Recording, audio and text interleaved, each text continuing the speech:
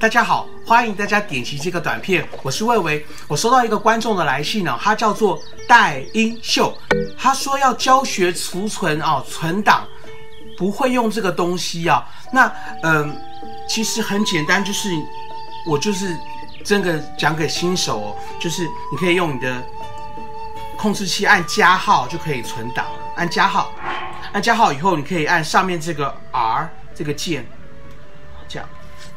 就会到这个存档的这个画面，你就可以按储存，这样简单吧？我想你想要问的啊，这个嗯，他想要问的是，可能是要读档吧，这样子。所以如果你想要读档的话，存档有时候自己就会存了，然后呃，这个游戏会自动存档。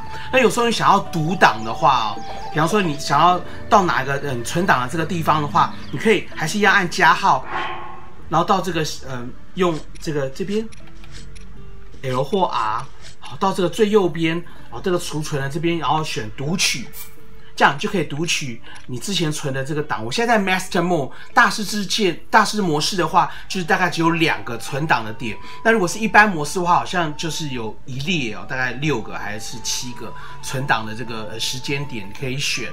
那大师模式比较少一点，这样子，那就可以，比方说读档这样。